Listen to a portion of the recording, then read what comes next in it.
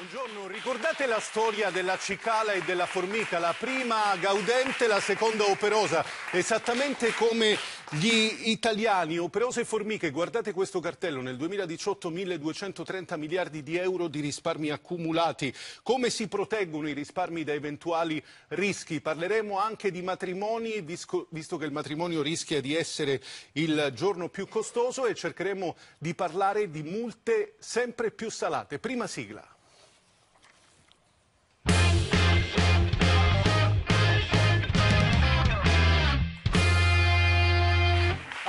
Il cuore del risparmio delle famiglie rimane parcheggiato sui conti correnti. Vediamo questa grafica, un terzo della ricchezza degli italiani rimane immobilizzata sui conti, solo il 33% dei risparmiatori sceglie di investire. Siamo noi a lavorare per i soldi con grandi sacrifici, questo è quello che esce eh, dai dati, ma non i soldi a lavorare per noi. Oggi ne parliamo con Monica Cirillo, bentornata con Massimo Belpignano, avvocato, esperto di tematiche finanziarie. Collegato da Milano c'è Antonio Triscione, collega del Sole 24 Ore, bentornato. Che rischi si, torna, si, corrono, Massimo, a tenere i, i soldi sul conto corrente? Eh, alcuni rischi, eh, li elenchiamo molto velocemente. Il primo, eh, ci dà una grande certezza. Sono lì, so che ci sono, quando voglio li posso prendere e questo diciamo in un periodo in cui i risparmi italiani hanno sofferto un po' ci dà una certa sicurezza. Ecco perché molti forse prediligono questo tipo di investimento, di, invest di parcheggio del denaro. Ci sono altri due aspetti però da considerare. Il primo, il rischio intermediario, quello che qualcuno chiama rischio bail-in, cioè la banca potrebbe saltare, ne abbiamo viste tante in questo periodo. Beh, certo. Però io so di avere una garanzia che fino a 100.000 euro il fondo interbancario mi rimborsa. Su questo però dobbiamo spiegare alcune cose. 100.000 euro non significa che eh, me li rimborsino tutti, devo rispettare alcune regole. Se ho ad esempio 120.000 euro sulla stessa banca io perdo 20.000 euro di differenza. Se ho invece due conti da 60.000 euro, uno su una banca, uno sull'altra, malauguratamente saltano entrambe le banche, io recupero per intero i miei 120.000 euro perché il limite è per banca e questa è una regola da trascurare. Terzo discorso, l'inflazione. L'inflazione, prendiamo sempre i famosi 100.000 euro ipotetici di prima, oggi è quasi all'1%, lo 0,94%. Quindi se tengo quei soldi parcheggiati perderò quasi 1.000 euro a fine anno. Più devo aggiungerci i costi di gestione del conto, secondo Banca d'Italia un conto corrente costa all'incirca 77 euro e poi un'altra cosa, ho guadagnato su quei 100.000 euro, bene, vado a pagarci le tasse, ritenute del 26%, ecco perché non è sempre un investimento conveniente. Ci ha dato una fotografia molto chiara il nostro Melpignano. Criscione, perché allora i nostri conti correnti non fruttano più nulla? Qual è la tua analisi? Eh, il conto corrente diciamo, non è uno strumento per, per, far fruttare i soldi, il conto corrente è uno strumento per tenerli parcheggiati oppure per utilizzarli, per, per, eh, diciamo che non è uno strumento di risparmio ma è uno strumento di gestione della liquidità corrente, il, quindi voglio dire alla fine eh, bisogna sempre quando si parla di soldi per farli lavorare per noi capire dove vanno messi perché poi lavorino per noi, se li mettiamo sul conto corrente vuol dire che abbiamo bisogno di gestirli nell'immediato perché poi ci sono altre forme anche di liquidità che possono essere utilizzate diverse dal conto corrente e che magari fruttano un poco di più del conto corrente. Bisogna quando si tratta di denaro pensare questo strumento che sto utilizzando a che cosa serve, a dove mi porta. Ecco, il conto corrente non porta ad un, ad un incremento del mm. patrimonio, ma solo ad una gestione nell'immediato. Ci sono i costi dei conti correnti, ne parlava prima il nostro Melpignano, ma poi ci sono gli scandali, eh, gli scandali delle banche venete,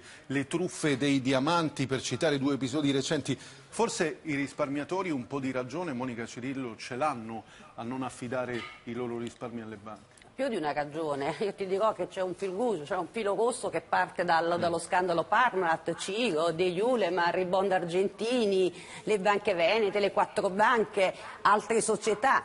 Per cui i risparmiatori nel corso del tempo hanno imparato a non fidarsi delle banche perché investimenti dati per sicuri sono stati invece totalmente persi. Pensa che nell'ambito finanziario i risparmiatori, il piccolo risparmiatore, cioè noi, veniamo definiti parco buoi, cioè animali da macello. Allora, non c'è una fiducia nei confronti di chi dovrebbe investire il nostro denaro. Questo qual è l'effetto, soldi bloccati sui conti correnti, altri che non, se possibile li tengono addirittura il famoso sotto il materasso. Mm, vedremo tra poco quali sono le alternative al cosiddetto parcheggio dei risparmi. Intanto se volete segnalarci delle vostre esperienze di investimento eh, o segnalarci storie, questi sono i numeri per entrare in contatto con noi, il nostro canale Whatsapp 345 3131 994, c'è la mail mi manda rai 3 chiocciolarai.it, c'è la nostra pagina Facebook dove potete interagire con la redazione di Mi Manda Rai 3, segnalarci delle storie, entrare in contatto eh, con noi. Vediamo quali sono le, le, principali alternative al parcheggio dei risparmi sul conto corrente, i conti di deposito, innanzitutto le obbligazioni, per esempio i titoli di Stato, BOT, BTP, CCT, le azioni, i buoni fruttiferi, i fondi di investimento, le polizze assicurative. Partiamo dai conti deposito, eh, Criscione, li possiamo considerare una sorta di salvadanaio virtuale? Il, il, conto di deposito è un altro di quegli elementi per gestire in un periodo me, eh, medio-breve la liquidità, cioè nel senso che rendono un pochino, non rendono delle cifre, delle cifre esagerate, ma possono servire per, eh, per, per, la liquidità per un periodo. Per esempio il, il classico tipo, eh, esempio potrebbe essere quello lì, eh, uno vende la casa, eh, riceve una liquidità e non sa come usarla per un certo periodo, sta decidendo cosa fare, se comprare un'altra casa, pagare le rette per l'università ai figli, fare un'assicurazione, eccetera. Il conto di deposito è uno strumento efficiente per quel tipo di, quel tipo di, eh, di parcheggio, diciamo così, perché rende un pochino, ma con la come dicevamo prima, con l'inflazione e con il resto dei costi non è che renda tantissimo, quindi non è da considerare un vero e proprio investimento, è un altro mezzo di gestione della, della liquidità. Mentre invece quello che conta per tutti gli investimenti, voi avete fatto una serie di, un elenco di possibili investimenti,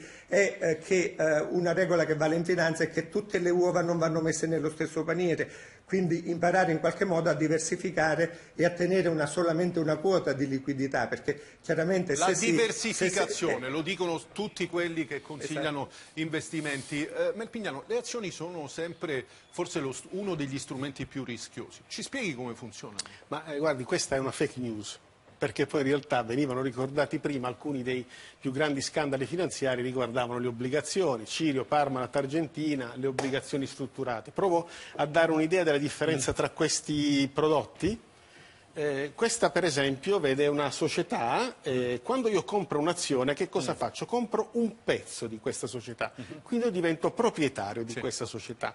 Nella pratica come funziona? La società funziona, va bene, questo anno è stato proficuo, quindi la società si allarga, alla fine di questo anno la sì. società comincerà a pagarmi dei dividendi. Sono i guadagni sul guadagno della società, per cui la società ha guadagnato e un pezzettino di questo guadagno verrà a me, in relazione ovviamente al numero di azioni che avrò.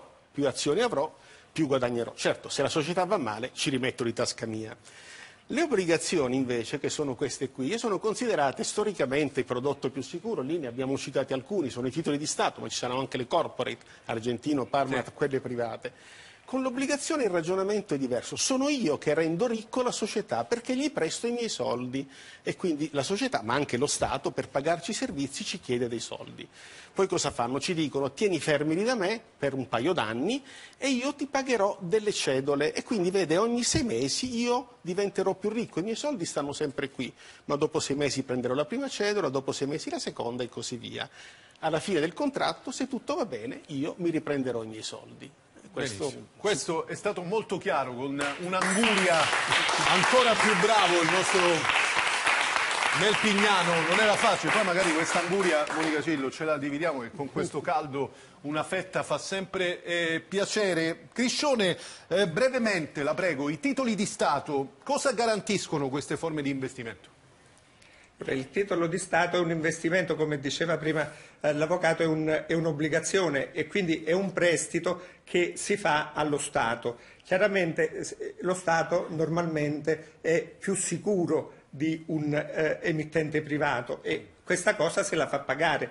Normalmente il rendimento sui titoli di Stato è piuttosto, è piuttosto basso. Voglio dire, quando il, il, il, rendimento aumenta bisogna sempre considerare che una, un rendimento che aumenta vuol dire un rischio che aumenta. Quindi voglio dire, adesso i titoli di Stato italiano voglio dire, hanno un rendimento abbastanza interessante, però questo è dovuto anche diciamo, una scarsa fiducia, ad una scarsa fiducia che c'è rispetto al titolo di Stato italiano in questo periodo. Quindi bisogna sempre pensare che quando c'è un investimento c'è un rischio e il rendimento, perché spesso ci si lascia attrarre da questa, da questa cosa del rendimento, c'è un buon rendimento eccetera, eh, e si va lì, ma anche per i, per, per i, um, per i per le obbligazioni, per i bond, eccetera, eh, bisogna sempre stare attenti, questo per le, per le, private, che spesso per esempio eh, è vero che ti danno una cedola, alcune una cedola periodica, però bisogna stare attenti che spesso la cedola non sono gli interessi, ma è una quota del capitale che viene, eh, viene rimborsata anticipatamente e quindi, eh, e quindi, che diventa praticamente uno pensa che sta percependo un interesse certo. e invece, invece il capitale che gli ritorna. Quello che dice il, il giornalista giornalista è un ottimo indicatore, cioè maggiore il rendimento più il rischio, sì. però purtroppo non sempre è così come ha dimostrato tutta la questione delle banche, dove il rendimento delle obbligazioni, il tasso di interesse era piuttosto basso perché le banche lo vendevano come sicuro, invece non era così. Quindi anche se c'è un basso rendimento, controllate sempre eh. i vostri investimenti. Senti, bisogna, già che ci sono te lo chiedo, anche bisogna considerare la tassazione sulle forme di investimento, perché magari sì. poi qualcuno guadagna qualche soldino, ma poi eh, ci sono le tasse che incombono. Sì, no? occorrono, ci sono anche le tasse da pagare, diciamo che la grande mm. suddivisione è ehm, tra i titoli di Stato, i titoli del, delle regioni, i titoli degli enti pubblici vengono normalmente tassati mm. al 12,5% mentre azioni, obbligazioni, interessi vengono tassate con un'aliquota del 26%. Si tassa o l'interesse che io percepisco eh, periodicamente, oppure si tassa, scusate la parola in inglese, poi la dico in italiano, il cosiddetto capital gain, cioè la plusvalenza tra quanto acquistato e quanto venduto quello viene tassato per azioni, obbligazioni, fondi di investimento mm. al 26%. Nonostante la prudenza, a volte impegnare un piccolo capitale può riservare brutte sorprese. Sentiamo questa testimonianza. Buongiorno a tutti, voi di Mi Manderai 3. Sono Paolo. Nel lontano 1987 mio papà acquistò un buono fruttifero postale serie Q. Recentemente mi sono recato per riscattarlo ma ho avuto una brutta sorpresa in quanto alle poste mi vogliono liquidare una cifra all'incirca 10% inferiore di quella da me calcolata. Spero mi possiate dare qualche buon consiglio, vi ringrazio e vi saluto. Allora, certamente il buon consiglio lo darà tra poco Monica Cirillo. I buoni fruttiferi, se vi ricordate, erano il tipico investimento dei nostri nonni che pensavano all'avvenire dei loro figli e dei loro nipoti. Cosa possiamo rispondere a Paolo? Allora, poiché è un buono acquistato nell'87, probabilmente il signore mm. ha fatto il calcolo sulla tabella posta a tergo del buono postale. Mm. Deve verificare che non è stato apposto un nuovo TIMCO che riporta i nuovi tassi di interesse mm. che sono stati statuiti da un decreto del 1986 perché se così è, se non c'è il timbro, lui ha diritto a ricevere le somme così come portate nel titolo. Questa è una sentenza, è uscita sul punto una sentenza della Cassazione, quindi deve fare questo controllo. Vediamo un altro messaggio che ci arriva questa volta sul nostro canale Whatsapp. Ho pagato per 5 anni un'assicurazione per un totale di 5.000 euro, alla scadenza ho riscosso 4.300 euro, meno di quanto ho versato. Mi sento preso in giro. Poi parliamo della fiducia eh, eh degli italiani. Perché no? li teniamo sul, sul, sul conto corrente. Che rispondiamo Monica? Rispondiamo che purtroppo spesso quando in passato hanno venduto le assicurazioni dicevano mm. che il capitale era garantito, in realtà non è così perché ci sono vari tipi di assicurazioni, ci sono i costi della polizza assicurativa, quindi quando stipulate un'assicurazione verificate sempre che cos'è garantito, leggete purtroppo le condizioni di polizza, se non avete il tempo, se non ci sono termini abbastanza tecnici, rivolgetevi anche a un'associazione di consumatori che vi possa indirizzare nell'investimento. Ha ragione Monica Cirillo, la parola garantito è interpretabile, Avvocato Melpidiano. Sì, magari dovremmo aggiungerci un'altra un cosa, da chi? esatto, e questa, fino a quanto? Questa è una bella, eh, una bella risposta. Eh, è arrivato un altro messaggio sul nostro canale Whatsapp, un'altra videosegnalazione da Mauro della provincia di Varese. Vediamo. Buongiorno, sono Mauro dalla provincia di Varese. Nel 2018 mi è scaduta una polizza vita di 25 anni e ho avuto una brutta sorpresa. Intanto nel 2009 volevo chiudere l'assicurazione ma mi dissero che ci perdevo 2.500 euro. Allora chiesi un anticipo di 10.000 euro. Poi nel 2017 chiesi un altro anticipo di 12.000 euro. Vedendo che loro li chiamavano prestiti nei documenti, non mi hanno mai informato della sconvenienza di fare questa cosa. Poi l'anno scorso, alla sua naturale scadenza, credendo di incassare 1500 euro circa, mi informarono che dovevo dare a loro 2700 euro. Ecco, questo è il messaggio di Mauro e anche lì le polizze assicurative sono, sono dire, investimenti tra virgolette sicuri, però poi non si rivelano all'altezza delle aspettative. No, ma neanche le polizze assicurative sono investimenti sicuri, perché spesso le polizze assicurative mm. hanno come sottostanti azioni e obbligazioni, quindi sì. io investendo nelle polizze assicurative non è detto che poi alla fine del periodo riesca a recuperare il mio capitale e qui c'è ancora una cosa ancora più grave, sì. una mancata comunicazione informativa. Il signore aveva richiesto un parziale riscatto della polizza, gli hanno fatto stipulare un prestito, quindi l'assicurazione ha preso i soldi del signore che li ha investiti, ci ha guadagnato con i costi, poi ha prefatto un prestito e ci ha guadagnato con gli interessi, per cui alla fine lui non solo non ha investito e alla fine non si è trovato nulla, ma si è trovato anche debitore. Allora attenzione, non, ecco, e pare brutto dirlo, non vi fidate assolutamente leggete sempre i contratti, in caso di dubbio rivolgetevi all'associazione dei consumatori. Questo è il motivo, quella domanda che tu mi hai fatto prima, perché le persone hanno i soldi sui conti correnti. Oppure a Mi Manda Rai 3, che è sempre al vostro servizio. Vediamo un altro messaggio che arriva sul nostro canale Whatsapp. La mia banca